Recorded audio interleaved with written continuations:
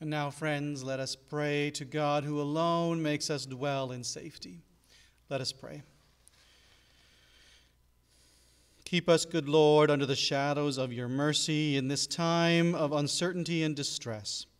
Sustain and support the anxious and fearful, and lift up all who are brought low, that we may rejoice in your comfort, knowing that nothing can separate us from your love in Christ Jesus our Lord. Lord Jesus Christ, you taught us to love our neighbor and to care for those in need as if we were caring for you. In this time of anxiety, give us strength to comfort the fearful, to tend the sick, and to assure the isolated of our love and your love for your name's sake. God of compassion, be close to those who are ill, afraid, or in isolation. In their loneliness, be their consolation. In their anxiety, be their hope. In their darkness, be their light. Through him who suffered alone on the cross, but reigns with you in glory. We pray for all who are affected by coronavirus through illness or isolation or anxiety, that they may find relief and recovery. Lord, have mercy. Hear our prayer for those who are guiding our nation at this time and shaping policies that they may make wise decisions. Lord, have mercy. Hear our prayer.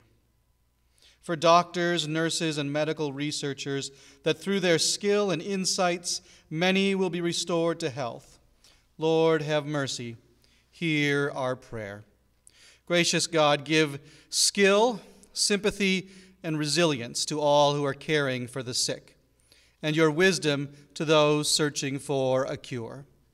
Strengthen them with your Spirit, that through their work many will be restored to health through Jesus Christ our Lord. We pray for the vulnerable and the fearful, for the gravely ill and the dying, that they may know your comfort and peace.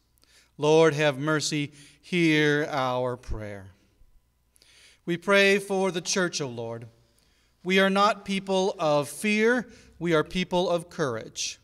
We are not people who protect our own safety, we are people who protect our neighbor's safety. We are not people of greed, we are people of generosity.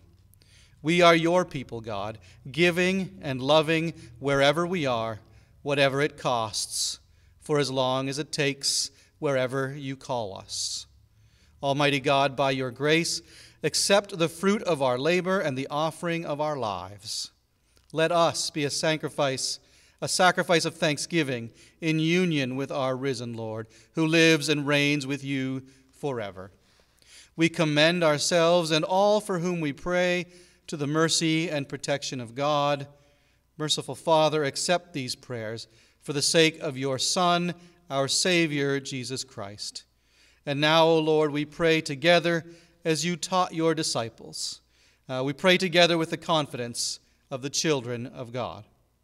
Our Father, who art in heaven, hallowed be thy name.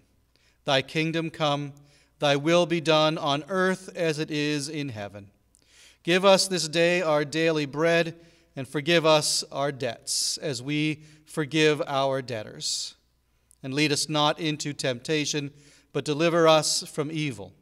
For thine is the kingdom and the power and the glory forever. Amen.